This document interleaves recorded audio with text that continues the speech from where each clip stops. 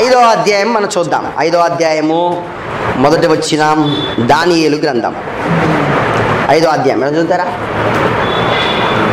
రాజుకు బెల్షాషెజరు ఉమ్, తన అధిపతుల్లో వెయ్యి మందికి గొప్ప విందు చేయించి.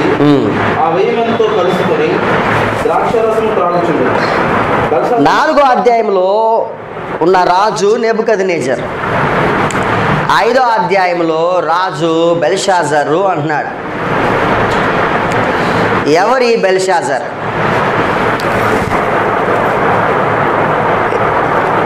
రాజుకు బెల్షాజరు తన అధిపతుల్లో వెయ్యి మందికి గొప్ప విందు చేయించి ఆ వెయ్యి మందితో కలుసుకుని ద్రాక్షరసం తాగుచుండేను. ఇతడు బబులోన్ దేశంలోనే ఉన్నాడు. ఎవరి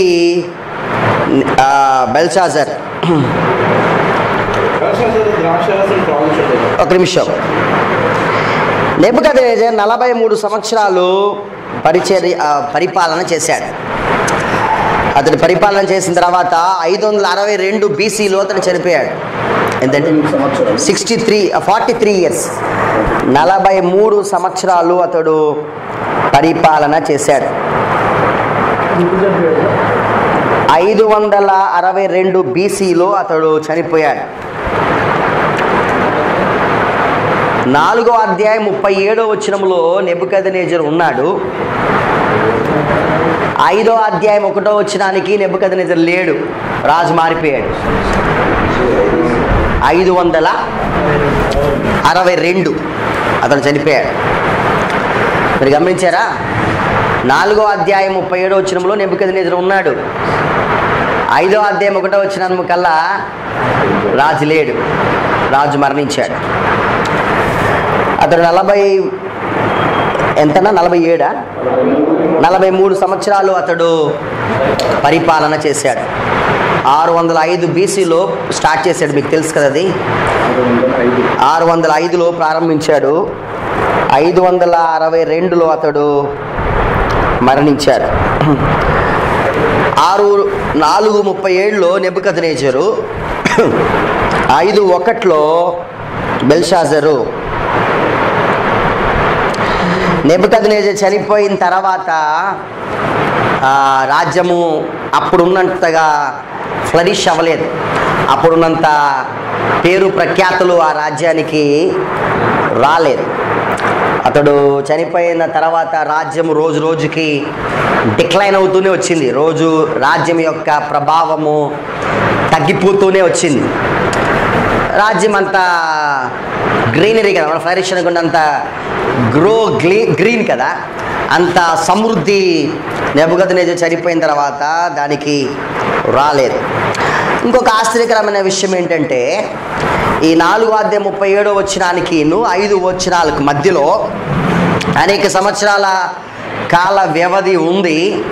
కానీ ఈ కాల వ్యవధిలో ఏ రాజు పరిపాలన చేశాడు? ఆ రాజ్య పరిపాలన ఎలా ఉంది? ఈ విషయాలన్నీ ఏమియో మనం బైబిల్ గ్రంథంలో మనము చూడము. వాటి గురించిన వివరణ నెబ్బకదిరేజ నాలుగు ముప్పై ఏడు. దాని గ్రంథం నాలుగు ముప్పై ఏడులో నెబ్బకదిరేజర్ ఉన్నారు కదా? ఐదు ఒకటిలో నెబ్బకదిరేజర్ లేడు. ఐదు ఒకటిలో బెల్షాజర్ వచ్చేసాడు.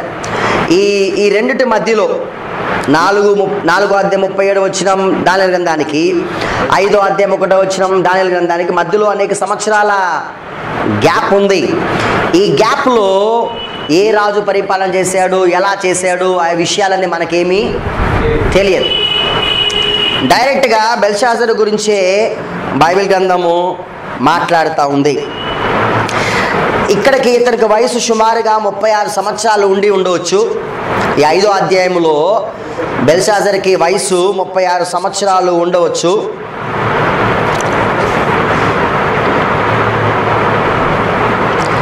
దానియేలుకు ఎనభై సంవత్సరాలు.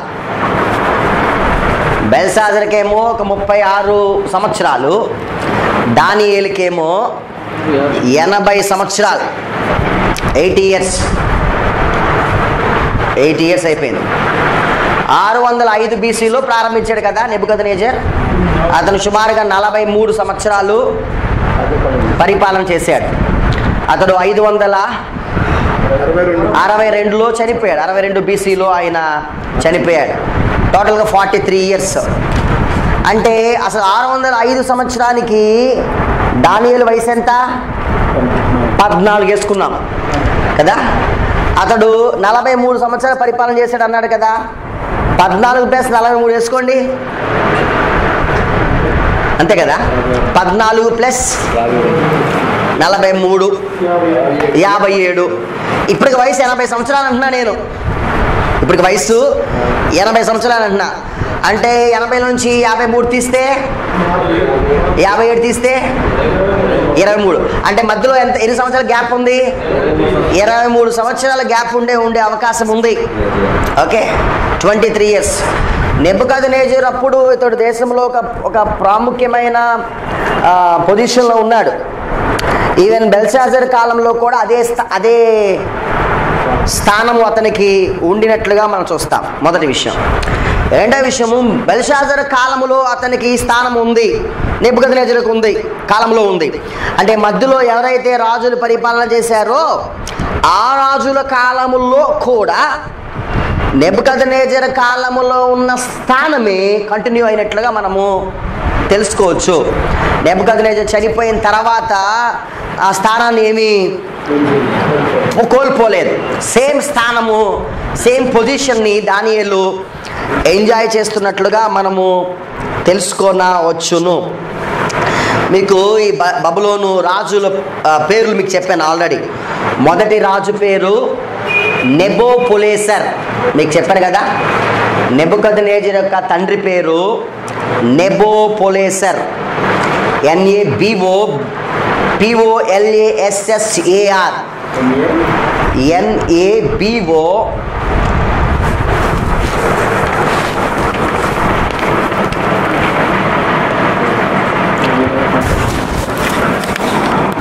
నెబోపోలేసర్ తర్వాత నెబోపోలేసర్ ఆరు వందల ఇరవై ఇరవై ఆరు నుంచి ఆరు వందల ఐదు బీసీ వరకు పరిపాలన చేశాడు.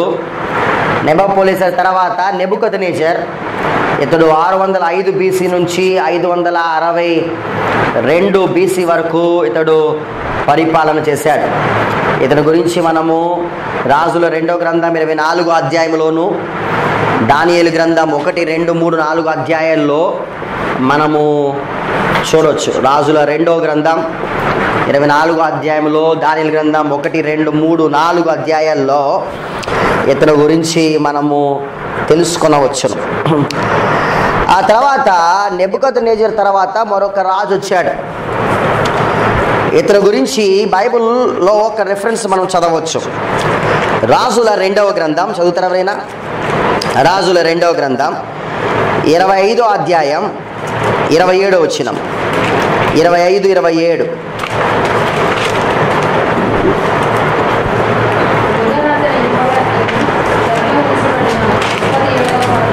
ఉమ్.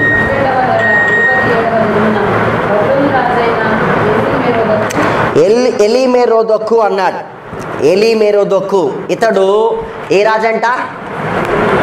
బబులోను రాజగు అన్నాడు.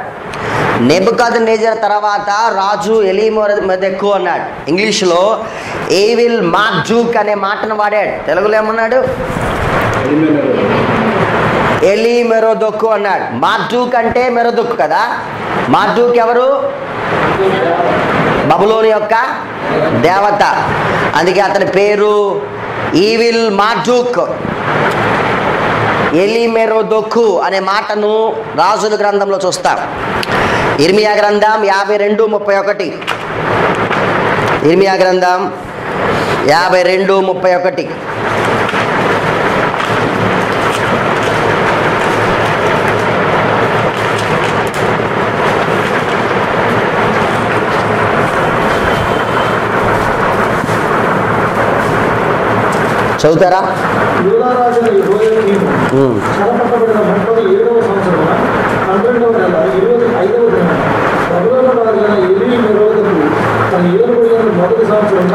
ఎలీమొరదెక్కు అనే మాటని ఇక్కడ చూస్తా ఉన్నాం.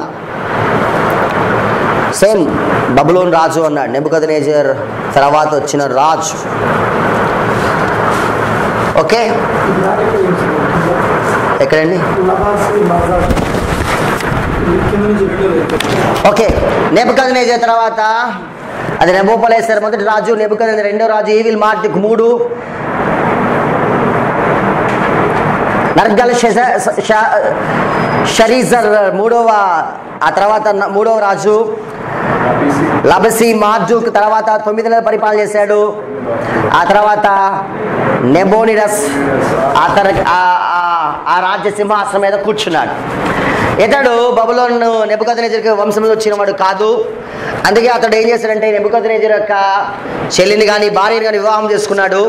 క్యాపిటల్ సిటీ బబులోనే ఉంది కానీ తన యొక్క పరిపాలనను అరేబియా ప్రాంతానికి మార్చుకున్నాడు. అక్కడి నుంచి అతడు పరిపాలన చేయటం ప్రారంభించాడు. ఈ నెబుకద్నేజర్కును సారీ ఈ నబోడినస్కి నెబుకద్నేజర్ యొక్క చెల్లికి పుట్టిన వాడు నెబోనిడస్ భార్యకు పుట్టిన వాడు బెల్షాజరు. అతడు నెబుకదనేజర్ వంశంలోంచి వచ్చిన వారికి పుట్టాడు కాబట్టి అతడు ఎక్కడ పరిపాలన చేయడానికి అర్హుడు అంటే కనుక నెబుకదనేజర్ కూర్చున్న సింహాసనమైన బబులోను సింహాసనం పైన కూర్చుండే అర్హత కలిగిన వాడు బెల్షాజర్. అందుకే ఇతడు ఎక్కడ సింహాసనం వేసి కూర్చున్నాడంటే అతడు బబులోను దేశంలోనే తన సింహాసనం ఉన్నట్లుగా చూస్తాం. సో మొత్తానికి ఇప్పుడు బబులోను దేశానికి ఇద్దరు రాజులు ఉన్నారు కదా? ఒకటి బబులోనులో పరిపాలన చేస్తున్న బెల్షాజరు రెండోది అరేబియాలోంచి పరిపాలన చేస్తున్న నెబోనిడస్. వాస్తవానికి వీళ్ళిద్దరూ జాయింట్గా రాజ్యాన్ని పరిపాలన చేస్తున్నాడు. బెల్షాజర్ యొక్క తండ్రి పేరు నెబోనిడస్. నెబోనిడస్ నెబ్బుకద్నేజర్ వంశం నుంచి కాదు. బెల్షాజర్ అయితే ఖచ్చితంగా నెబ్బుకద్నేజర్ యొక్క వచ్చినవాడు కారణం ఏంటంటే నొబోనిడస్ వివాహం చేసుకుంది నెబ్బుకద్నేజర్ యొక్క చెల్లిని కానీ లేకపోతే భార్యను కాబట్టి. కాబట్టి బెల్షాజరు ఆ రాజ్యములో కూర్చుని పరిపాలన చేయడానికి పూర్తిగా అర్హత కలిగిన వాడు అని మనకు అర్థమవుతుంది. ఓకే మొదటి వచ్చినంలోనికి వెళ్తున్నాం. మీకు అర్థమై ఉండే కదా? మనము బ్యాక్గ్రౌండ్ సెటప్ చేసాం. మొదటి వచ్చినం రాజగు బెల్సాజార తన అధిపతిలో వెయ్యి మందికి గొప్ప విందు చేయించి ఆ వెయ్యి మందితో కలుసుకునే ద్రాక్ష రసము తాగుచుండెను. ఇతడు బెల్సాజరు రాజు తండ్రి తండ్రి స్థానంలో ఆ తండ్రి కూర్చునేడు కాబట్టి ఇతడు వచ్చి ఇక్కడ కూర్చొని పరిపాలన చేస్తున్నాడు. వెయ్యి మందికి గొప్ప విందు ఇతడు చేయించినట్లుగా మనకు అర్థమవుతా ఉంది.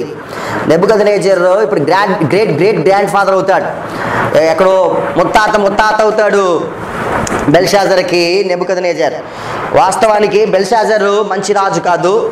నెబోనిడాస్ చాలా మంచి రాజు. నెబుకదనేజర్ తర్వాత ఆ వంశంలోంచి వచ్చి ఆ సింహాసనం మీద కూర్చుని పరిపాలన చేసిన వాళ్ళు నెబుకదనేజర్ తర్వాత బెస్ట్ రాజు ఎవరంతే కనుక నెబోనిడస్సే కానీ నెబుకద బెల్షాజరు బెల్షాజర్ అంత మంచి రాజేమి కాదు. గొప్ప విందు చేయించాడంటున్నాడు పూర్వకాలము విందు చేయించడం ఇది గొప్ప అలవాటు.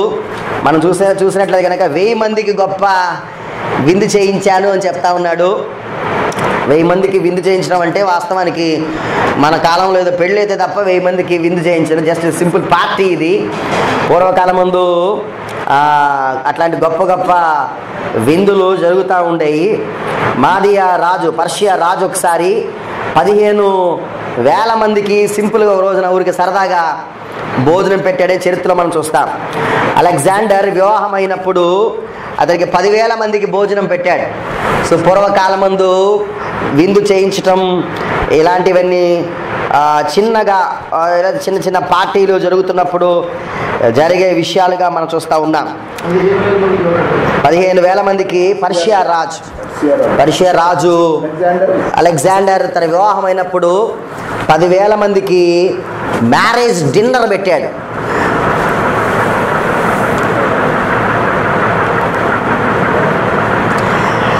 అషూరు రాజులో ఒక రాజు ఉన్నాడు. మీరు రాసుకోవాలి అషూరు రాజులో ఒక రాజు ఉన్నాడు. అతని పేరు అషర్ బెన్ పాల్ అని ఒక రాజు ఉన్నాడు.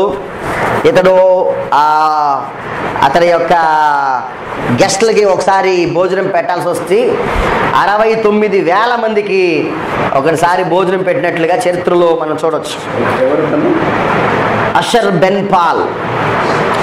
అతడు అషూరియో రాజు. ఓకే. ఇతడు బబులోనులో ఇతడు విందిస్తూ ఉన్నాడు. ఈ పట్టణం గురించి ఆల్రెడీ మీకు చెప్పాను. ఇది సుమారుగా ఇరవై మూడు మైళ్ళ విస్తరణ విస్తీరణ కలిగినది.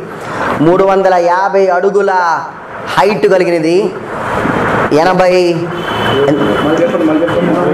ఎనభై ఏడు అడుగుల థిక్నెస్ కలిగినది ఇంకా చెప్పాను త్రీ ఫిఫ్టీ ఇంటూ అయిందా? Three fifty into eighty seven ఇది three fifty into eighty five or eighty seven feet thickness కలిగినది దీని చుట్టూతా ఉన్న గోడ.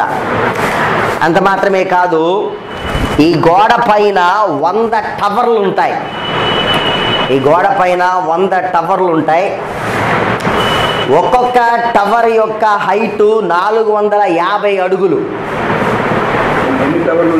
వంద టవర్లు ఉంటాయి.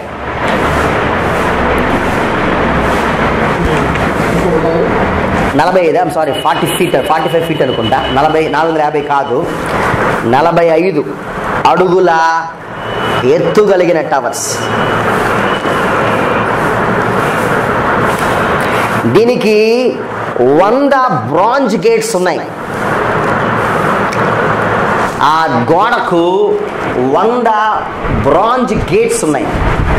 బ్రాంజ్ గేట్స్ అంటే ఇత్తడి తలుపులు ఉన్నాయి దానికి. వంద ఇత్తడి తలుపులు ఉన్నాయి. ఈ గోడ చాలా థిక్నెస్ కలిగింది. ఎనభై ఐదు ఎనభై ఏడు అడుగుల థిక్నెస్ దీని హైటు మూడు వందల యాభై అడుగులు. దీనిపైన మరలా నలభై ఐదు అడుగులతో పెద్ద టవర్స్ నిర్మించబడి ఉంటాయి.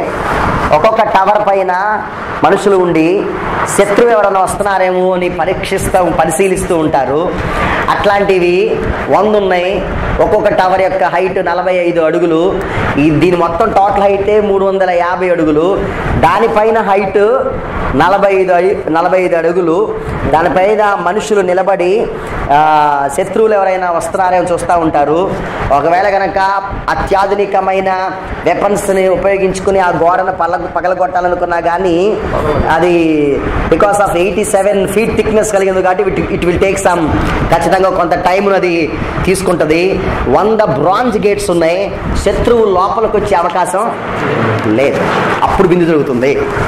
అప్పుడు విందు స్టార్ట్ అయింది. చదువుతారు ఎవరైనా? ఓకే రెండో వచ్చినం. తాను తన అధిపతులను తన రాణులను తన ఉపపత్నులను వాటిలో ద్రాక్షారసము పోసి త్రాగునట్లు తన తండ్రి యొక్క నిబుకాదరు ఎరుశలంలోని దేవాలయంలో నుండి తెచ్చిన వెండి బంగారు పాత్రలను తెమ్మని ఆజ్ఞయించింది అర్రే తాగేవాడు తాగకుండా ఇంకొక పని చేస్తున్నాడు. ఎప్పుడు తెచ్చాడు నెబ్బుకద నేచర్ నెబ్బుకద నేచర్ ఎరుషులే నుంచి ఉపకరణలన్నీ తీసుకొచ్చాడు. ఎన్నిసార్లు తీసుకొచ్చాడు? మూ- మూడు సార్లు తీసుకొచ్చాడు. తీసుకొచ్చిన ఉపకరణలు ఎక్కడ పెట్టాడు?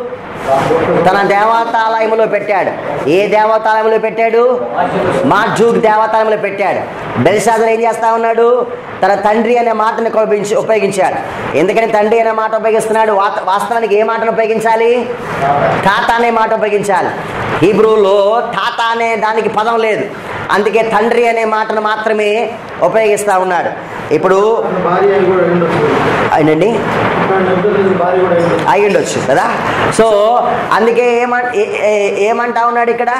బైబిల్ ఏం చెప్తా ఉందంటే కనుక ఆ మందిరంలో ఉంచిన వాటిని ఉపకరణలన్నీ తీసుకొచ్చి వాటితో ద్రాక్షరసం తాగించమని చెప్పినట్లు చూస్తాం. మూడో వచ్చిన అందుకు వారు ఎరుషులేములోని దేవుని నివాసముల ఆలయంలోని తీసుకొచ్చిన సువర్ణోపకరములు తెచ్చి ఉంచగా రాజు అతని పత్రులు అతని రాణులు అతని ఉపపతులు వాటితో ద్రాక్ష తాగిర్రి. మొత్తానికి తెచ్చిన ఉపగమంతో వారంతా ద్రాక్షరసము తాగినట్లుగా మనం చూస్తా ఉన్నాం.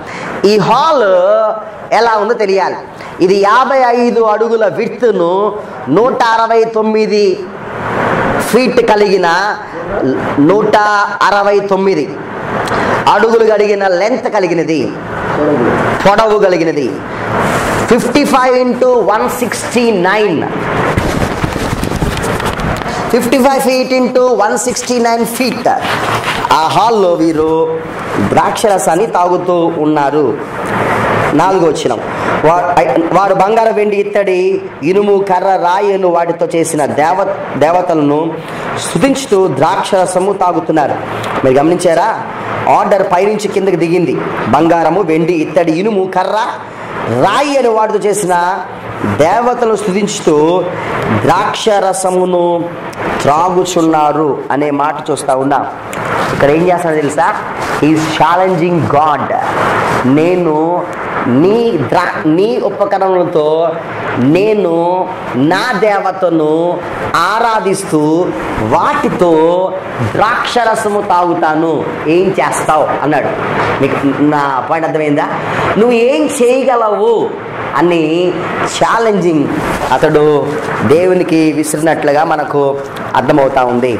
ఐదో వచ్చినం ఆ గడియలోనే ఆ గడియలోనే ఆ గడియలోని మానవ హస్తంపు వేలు కనబడి దీపపు దీపము దగ్గర రాజు యొక్క నగర్ నగరు గోడ మీద పూత మీద ఏదో ఒక వ్రాట వ్రాయిచున్నట్లు ఉండెను. ఎప్పుడైతే వీళ్ళు ద్రాక్షరసం తాగుతున్నారో ఆ, ద్రాక్షరసం తాగుతూ ఉండగా అక్కడంట ఈ పెద్ద one sixty nine into fifty fi five feet కలిగిన హాల్లో ఒక చోట ఇవి లైక్ ఎగ్జాక్ట్గా చెప్పాలంటే అంటే ఇప్పుడున్న టెక్నాలజీ ప్రకారము దీనిపైన ప్లాస్టర్ ఆఫ్ ప్యారిస్తో ఎలా చేస్తే నీట్గా రాసుకోవడానికి వీలుగా ఉంటుందో రాజు కూర్చున్న సింహాసనము పైన అలాంటి ఏర్పాటు ఏదో ఉంది. అక్కడకు వచ్చి చేతి వ్రేలతో ఏదో రాసినట్లుగా మనకు కనిపిస్తూ ఉంది. ఓకే? తర్వాత ఆ, వచ్చినము గనక మనం చూసినట్లయితే గనక సో ఆ గడిలోని మానవ హస్తము వేళ్ళు కనబడి దీపపు దగ్గర దీపము దగ్గర ఎందుకు రాయబడింది? సో దట్ అదంతా కనిపించాలి. So focus ఎవరిక్కడ? రాజు కదా. ఆ పార్టీకి పార్టీ ఇచ్చేది రాజు కాబట్టి ఇంపార్టెంట్ పర్సన్ ఖచ్చితంగా రాజు. దీపం ఎక్కడ పెట్టి ఉంటుంది? ఎవరైతే ఇంపార్టెంటో వాళ్ళ దగ్గర దీపం పెట్టారు. కాబట్టి రాజు ఇంపార్టెంట్ కాబట్టి దీపం ఎక్కడ ఉంది? రాజు దగ్గరే ఉంది. ఇప్పుడు రాసేది ఈ ఫ్లాట్ గా నీటికి రాయడానికి ఉన్నది ఎక్కడ? రాజు పైనే అది కనిపిస్తా ఉంది. రాజు నీటిగా చూస్తే అర్థమైపోతుంది. ఒకటి అది రాయడానికి వీలుగా ఉంది సరే చాలా క్లియర్గా కనిపిస్తుంది. రెండవది దీపం ఉంది మరింక ఎక్కువగా క్లియర్గా కనిపిస్తూ ఉంది. ఏదో రాయిచున్నది ఒకటి రాయిచున్నట్లుండేను. రాజు ఆ హస్తము రాయడం చూడగా అతని ముఖము వికారమాయను. అతడు మనసునందు కలవరపడగా అతడు నడుమున కీళ్ళు వదిలి అతని మోకాళ్ళు గడగడ వణుకుచు కొట్టుకునుచుండెను. అని అన్నాడు ఇక్కడ. ఎప్పుడైతే హస్తమును చూశాడో రాయిట చూ చూశారో ఏ- ఏ- జరిగిందంట ఇతడు? కలవరం వచ్చిందంట. మనసునందు కలవరపడగా అతని నడుము కీళ్ళు వదిలి అతని మోకాళ్ళు గడగడ వణుకుచు కొట్టుకునేను. Back bone కదిలిపోయిందంట. భయం భయంకి బ్యాక్ బోన్ కదిలింది. యహోవా ఒకరి ఒకరిని ఒకరి జోలుకు వెళ్తే ఏం జరుగుతుంది ఇక్కడ? అతని మనసు కలవర అతని నడుము కీళ్ళు వదిలి సడన్గా బ్యాక్ బోన్ అంతా వదిలేసింది. మనిషి ఫిట్గా ఉంటాడు దేంట్లో తెలుసా? మొత్తం సిస్టమ్ అంతా బ్యాక్ బోన్కి లింక్ అప్ అయి ఉంటది. ఒక్కటి వదిలేస్తే మొత్తం ఎక్కడికక్కడ జారిపోయి పడిపోతాడు. కాళ్ళన్నీ వణిగిపోతున్నాయి అల్టిమేట్ ఫియర్. దీనికంటే భయం ఇక లేదిక భయమును ఎలా వర్ణించాలో ఈ మాటల కంటే లేవిక నడుము వదిలేసింది మోకాళ్ళన్నీ కొట్టుకుంటా ఉన్నాయి. నహోము గ్రంథం రెండు పది హబక్కు రెండు ఏడు నహోము రెండు పది. హబక్కు గ్రంథం రెండు ఏడులో భయముల గురించి మనము చూడవచ్చు.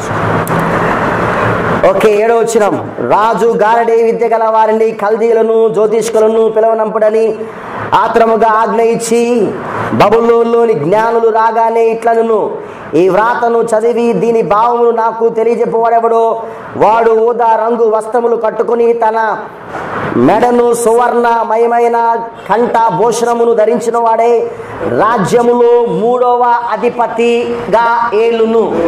ఎందుకని మూడవ అధిపతిగా మొదటి అధిపతి రాజు మొ- ఇతరే రాజు కదా?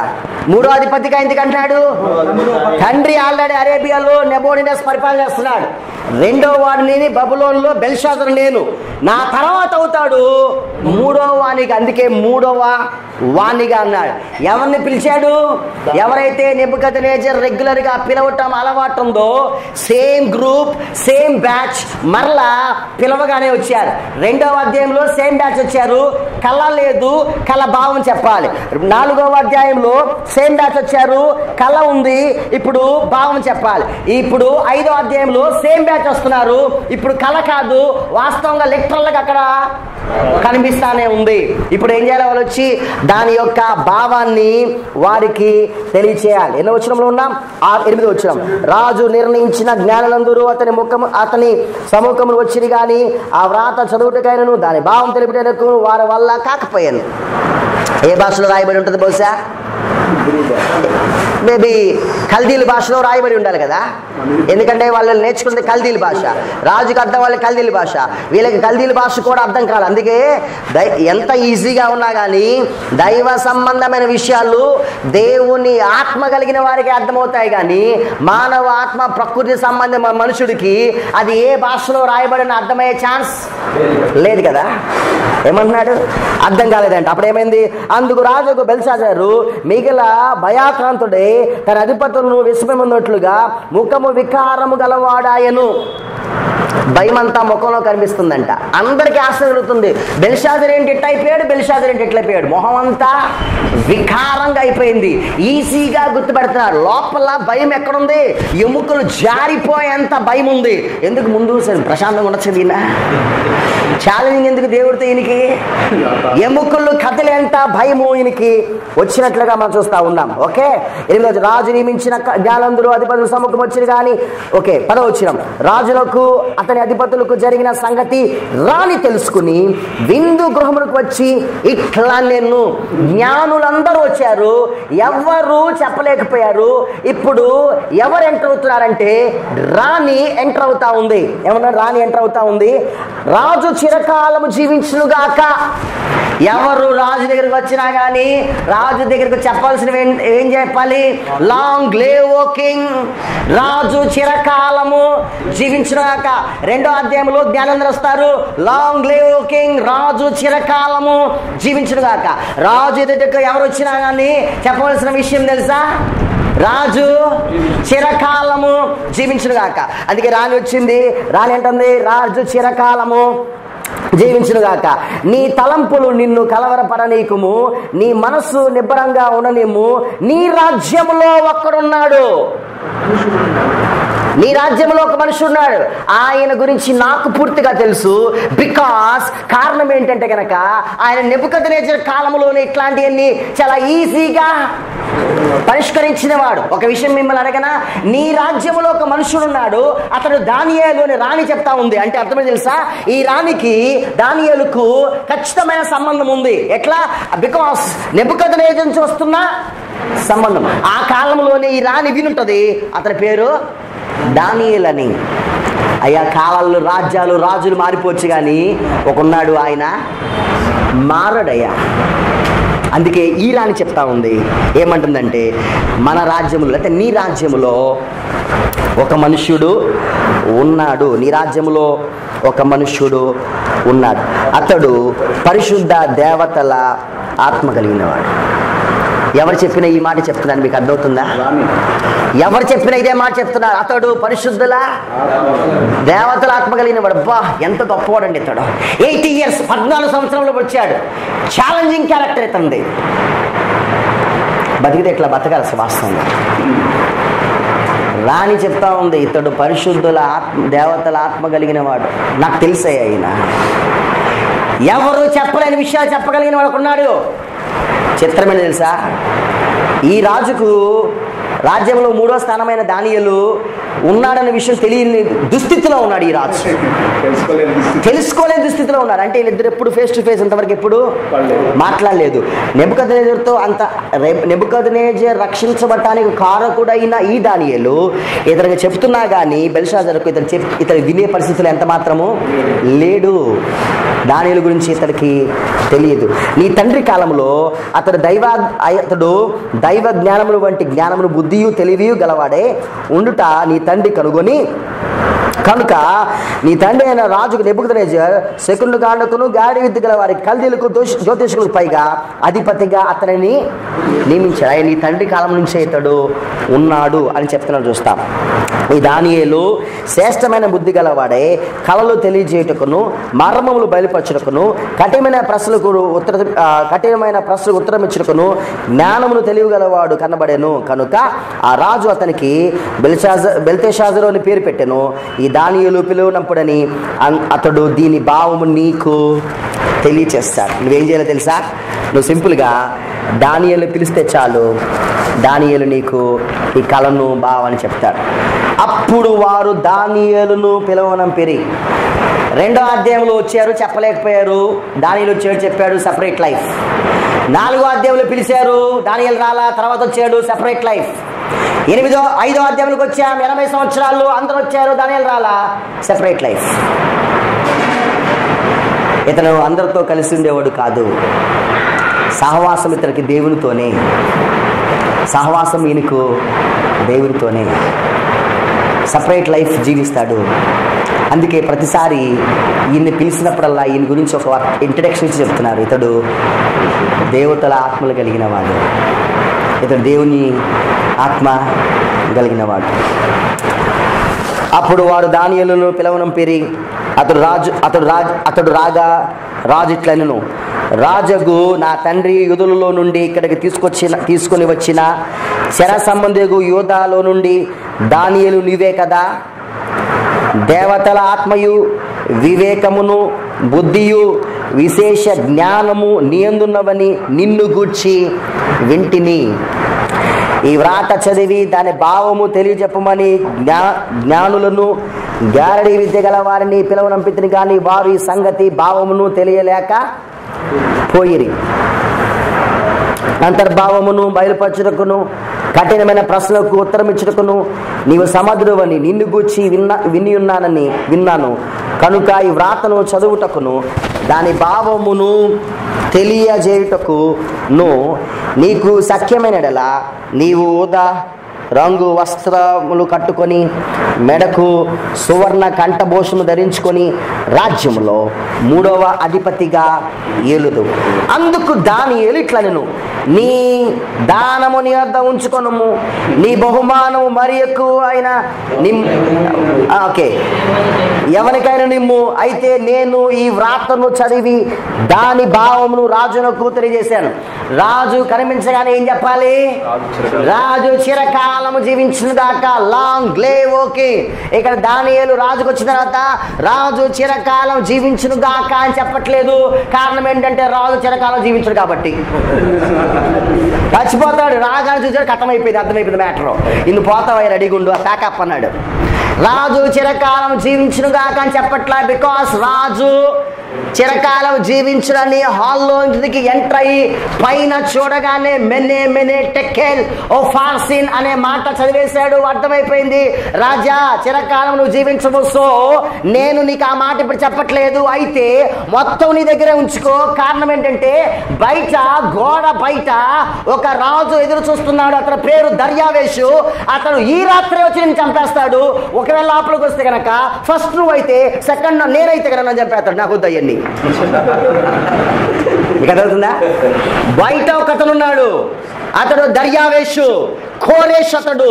నువ్వు అనుకుంటున్నావు ఈ గోడ పెద్దది దాని పై దానిపైన వంద టవర్లు ఉన్నాయి వంద బ్రాంజ్ గేట్స్ ఉన్నాయి. ఎవడో శత్రువు లోపలికి వచ్చే అవకాశం లేదు. దీని గోడ విత్ ఎయిటీ ఫైవ్ ఫీట్స్ దీని హైటే ఫోర్ ఫిఫ్టీ ఫీట్ ఎవడో పైకెక్కి రాలేడు అనుకుంటా ఉన్నావు. మెనే మెనే టెక్కేలు చదివేశాను. నాకు వద్దయ్యా ఒకవేళ నేను గనక సింహాసం మీద కూర్చుంటే గనక రాజు వచ్చి ఫస్ట్ నిన్ను చంపుతాడు. ఆ తర్వాత సెకండ్ పొజిషన్ నన్ను చంపుతాడు. మొత్తం ఇది దగ్గర ఉంచుకు నాకొద్దు. అయితే ఆ భావం మాత్రం నేను నీకు చెప్తాను. రాజు రాజా చిత్తగించుము.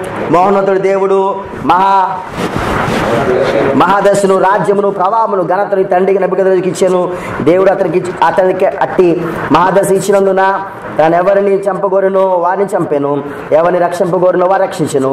ఎవరిని హెచ్చింపగోరునో వారిని హెచ్చించను.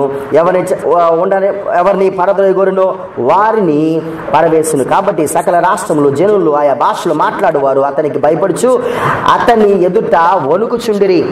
ఏమన్నాడు అయ్యా అసలు ఈ రాజ్యం ఇచ్చింది ఎవరికి తెలుసు? ఇంట్రడక్షన్ ఇస్తున్నాడు. దానియలు గురించి ఇంట్రడక్షన్ నెబ్బక దానియల గురించి ఇంట్రడక్షన్ రాణి ఇచ్చింది రానివ్వగానే సేమ్ ఇంట్రడక్షన్ని ఇతడు బెల్షాజర్ ఇచ్చాడు. ఇప్పుడు దానియలు ఇంట్రడక్షన్ ఎవరి ఎవరి గురించి ఇస్తున్నా తెలుసా? నెబ్బుకద్ నేజర్ గురించి ఇవ్వట్లా. మనకి వినిపిస్తుంది నెబ్బుకద్ నేజర్కి వినిపిస్తున్నట్లు కానీ కానీ నెబ్బుకద్ నేజర్కి ఇచ్చిన ఆ స్థితినిచ్చిన దేవుని గురించి ఇంట్రడక్షన్ ఇస్తాడు ఆ దేవుని నువ్వు తెలుసుకోలేకపోయావయ్యా. తెలుసుకుంటే నీ పరిస్థితి బాగుండేది అని చెప్తున్నట్లుగా మనకు అర్థమవుతా ఉంది. అయితే అతడు తన మనసును అతిశయించి బలాత్కారం చేయుటకు తన హృదయం ముందు కఠినము చేసుకుని దేవుడు అతని ప్రభుత్వము అతను తీసివేసి అతని గాంత్ర పోగొట్టెను. మీకు తెలుసు కదా అది? మూడో నాలుగో అధ్యాయంలో ఆ విషయం జరిగింది. అప్పుడు అతడు మానవుల యొద్దరుని తరవబడి పశువుల వంటి మృగము గలవాడయ్యాను మహోన్నతుడు దేవుడు మానవులు రాజ్యములు ఏలుచు ఎవరిని స్థాపింపగోరును వాని స్థాపించును. ఎవరిని అతడు తెలుసుకున్న వరకు అతడు అడవి గాడిదవల మధ్య నివసించు పశువుల వలె గడ్డి మేయచ్చు ఆకాశపు మంచు చేత త- తడిసిన శరీరము గలవాడయ్యను. ఇది మీకు బాగా తెలుసు బికాస్ ఇట్ హ్యాపెన్ ఇన్ నాలుగో అధ్యాయంలో ఈ విషయం జరిగింది. ఇరవై రెండు వచ్చిన బెల్షాజరు అతని కుమారుడు నీవు ఈ సంగతి ఈ సంగతి అంతయు ఎరిగియుండి నీ మనస్సును అనుసుకొనక పరలోకముందు నా ప్రభు మీద నిన్ను నీవే హెచ్చించుకుంటేవి. బెల్షాజరు ఈ విషయం నీకు తెలీదా? తెలుసు కూడా. నువ్వు ఇంటెన్షనల్గా నువ్వేం చేసావంటే నిన్ను నీవు హెచ్చించుకున్నావు హెచ్చించుకున్నావు. నీవు పాపం ఎలా చేసావో తెలుసా? జ్ఞానం ఉండి పాపం చేసావయ్యా. తెలుసుకో తెలిసి కూడా నువ్వు పాపం చేసావు. ఆల్రెడీ నీకు ఈ విషయాలని తెలియచేయబడ్డాయి. అయినా కానీ నువ్వేం చేసావంటే ఈ మాటలు నేను పక్కన పెట్టేసి నీ ఇష్టానుసారంగా నువ్వు జీవించావు అని చెప్తా ఉంది. ఇరవై మూడు ఇరవై మూడో వచ్చి ఇరవై మూడో వచ్చిన ఎట్లనగా నీవును నీ అధిపతులు నీ రాణులు నీ ఉపపత్తులు దేవుని ఆలయ సంబంధము ఉపకరములలో ద్రాక్షరసము పోసి త్రాగవలని వాటిని తెచ్చి ఉంచుకొని వాటితో తాగుచు చూడనైనను విననైనను గ్రహింపనైనను చే చేతకాని చేత కాని వెండి బంగారం ఇత్తడి ఇనుము కర్ర అను వాటితో చేయబడిన దేవతలను సృజించు సృజించిరు కానీ నీ ప్రాణమును నీ సకల మార్గములను నీ ఏ దేవుని వశమును ఉన్నదో ఆయనను నీవు ఘనపరచలేదు. నువ్వు చేసిన తప్పేంటి తెలుసా? నువ్వు దేవునికి ఇవ్వాల్సిన ఘనతను ఇవ్వలేదు. మనిషి ఏం చేయాలంట?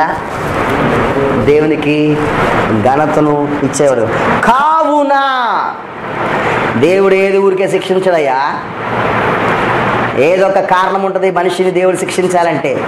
For that reason therefore కావున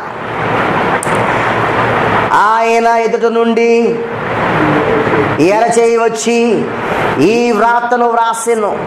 వ్రాసిన శాసనమేదనగా మెనే మెనే టెకేల్ ఓ ఫారసిన్.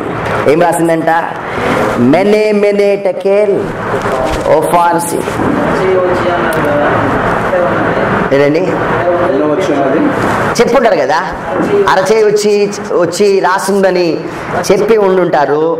అందుకే ఆ, అతడికి ఈ వచ్చి రాసిన అరచేయి గురించి మాట్లాడుతున్నాడు. రాసిన ఏమనగా ఎరచేయి వచ్చి ప్రాత రాసిను. రాసిన శాసనమేనగా మెనే మెనే టెకేల్ ఓ ఫార్సిన్ ఈ వాక్య భాగం భావం అనగా మెనే అనగా దేవుడు నీ ప్రభుత్వము విషయంలో లెక్క చూచి దాన్ని ముగించాను. టెకేల్ అనగా నిన్ను త్రాసులో తూచగా నీవు తక్కువగా కనబడ్డావు. ఇట్స్ రెండు మాటలు. మెనే మెనే టెకేల్ ఓ ఫార్సిన్ మెనే అంటే నెంబర్డ్ లెక్క చూచారని. టెకేల్ అంటే తక్కువయ్యావు. ఓ ఫార్సిన్ నిన్ను తీసివేస్తున్నాడు. డివైడ్ చేస్తున్నాడు నిన్ను. మెనే మెనే టెకేల్ ఓ ఒఫారసిన్ అని అర్థమవు అర్థమవుతా ఉంది. నేను లెక్క చూశాడు నెంబర్డ్ తక్కువయ్యావు డివైడ్ చేస్తున్నాడు అంతే మాట. మెనే మెనే లెక్క లెక్క చూశాడు. టెకేల్ తక్కువడే ఒఫార్సిన్ డివైడ్ చేస్తున్నా నిన్ను. నిన్ను ఆయన తీసివేస్తా ఉన్నాడు అని చెప్పాడు.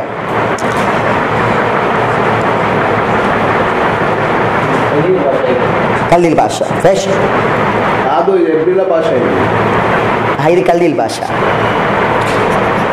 అంటే ట్రాన్స్ఫర్ చేసింది కల్దీల భాష. వాస్తవానికి ఏంటంటే రాయబడింది కల్దీల్ భాషలోనే రాయబడి ఉండాలి. అర్థం కాలేదు. కానీ అర్థం కాలేదంటే అదే అందుకని నేను. ఎందుకు అర్థం కాలేదు అంటే కనుక దేవుని విషయాలు దేవుని యొక్క మనుషులకి అర్థమవుతాయి. అక్కడ రాయబడి ఉంది కానీ చదవటం వీళ్ళకి చదవలేకపోయారు. ఎందుకు చదవలేదో మనకు తెలియదు కానీ కానీ వాళ్ళు ఖచ్చితంగా చెప్తున్నారు అది వీళ్ళకు అర్థం కాల అదే పోయారు. బెల్షాజర్ ఆగ్నేయగా వారు దానియులకు ఉదారంగు వస్త్రము ధరించి తొడిగించి అతని మెడను బంగారపు హారముతో ప్రభుత్వ హారము వేసి ప్రభుత్వము చేయుటలో అతనికి మూడవ అధికారిగా చాటించాను.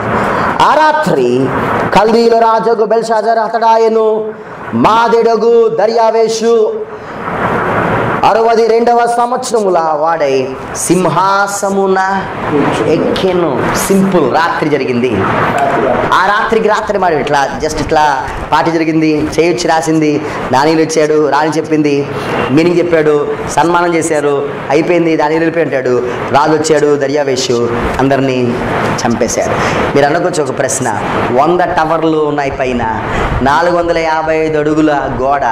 ఎనభై ఐదు వెడల్పు కలిగినది. శత్రువులు ఎప్పుడు వస్తారని పైనుంచి చూస్తుంటారు. వంద బ్రాంజ్ గేట్లు ఉన్నాయి ఎట్లా లోపలికి వచ్చాడు రాత్రి యుద్ధం జరిగింది. రాత్రి ఆ రాత్రే బెల్షాజరు అతుడాయను ఈ రాజు దర్యావేషు కోరేషు చాలా కాలం నుంచి బయట నిలబడి దీన్ని ఎలా జయించాలి అని చూస్తూ ఉన్నాడు ఈ కోరేషుకు తెలుసు ఒక రోజున వస్తుంది. ఆ రోజున సైనికులందరూ మత్తులై ద్రాక్షరసం తాగి పడి ఉంటాడు అని. మీరు వింటున్నారా? పడి ఉంటారు అని. ఈ బబులోను పట్టణానికి ఉన్న ఒక స్పెషాలిటీ ఏంటంటే యూప్రటిస్ నది ఒక బ్రాంజ్ గేట్లోంచి లోపలికి వస్తుంది. బ్రాంజ్ గేట్ వేస్తే నది ఆగిపోతుంది. గేట్ పైకి తీస్తే నీళ్ళన్నీ లోపలికి వస్తాయి. లో ఒకసారి గేట్ బయటికి తీసారనుకోండి శత్రువు నీళ్ళలోంచి రావాలి. అది వచ్చే అవకాశము ఎంత మాత్రము లేదు. గేట్ వేస్తే అక్కడ ఆగిపోతుంది. శత్రువు గోడ దాటి బయటకు వచ్చే అవకాశం ఎంత మాత్రము లేదు. ఆ రాత్రి మామూలుగా ఎప్పుడు స్పెషల్ డే ఒక పండగ రోజు కాబట్టి అందుకే ఆ రోజున అందరూ తాగి ద్రాక్షరం తాగి మత్తులై పడి ఉన్నారు. పడినప్పుడు ఏం జరిగింది? ఈ గేటు ఎత్తారు నీళ్ళన్నీ లోపలికి వస్తూ ఉన్నాయి. నీళ్ళల్లో వచ్చే అవకాశం ఎంత మాత్రము లేదు కదా శత్రువులు. ఈ కోరియేషు దర్యావేష్ ఏం చేశారంటే చాలా సంవత్సరాల నుంచి ఒక ఆరు ఏడు నెలల నుంచి సుమారుగా అక్కడే ఉండి ఎలా వీళ్ళని ఏ రో ఆ రోజుకు ఎదురు చూస్తున్నాడు కాబట్టి ఒక కెనాల్ని పక్కకి తవ్వించాడు. ఒక ఎనిమిది నెలలు తొమ్మిది నెలలు టైం తీసుకుని. ఈ గేట్ ఎత్తారు కొన్ని నీళ్ళు మాత్రమే వెళ్తున్నాయి. అందరూ మత్తులై భయపడి ఉన్నారు. కెనాల్ ఓపెన్ చేయబడింది. ఈ యూప్రటిస్ నది పక్కకి వెళ్ళింది. లోపలకు నీళ్ళు వెళ్ళలేదు శత్రువులు దా ఈ మాది పార్సిక పార్సియా రాజు నెమ్మదిగా నడుచుకుంటా వెళ్ళి మత్తులై పడి ఉన్న సైన్యాన్ని మాట లేకుండా చంపేశారు బెల్షాజరు. ఆ రాత్రి చచ్చిపోయినట్లు కూడా అతనికి తెలియదు కొత్త రాజ్యం వచ్చింది. రాజ్యం పేరు మాదయ పార్సిక రాజ్యము. దేవునితో ఏ నరుడు ఛాలెంజ్ చేయకూడదు.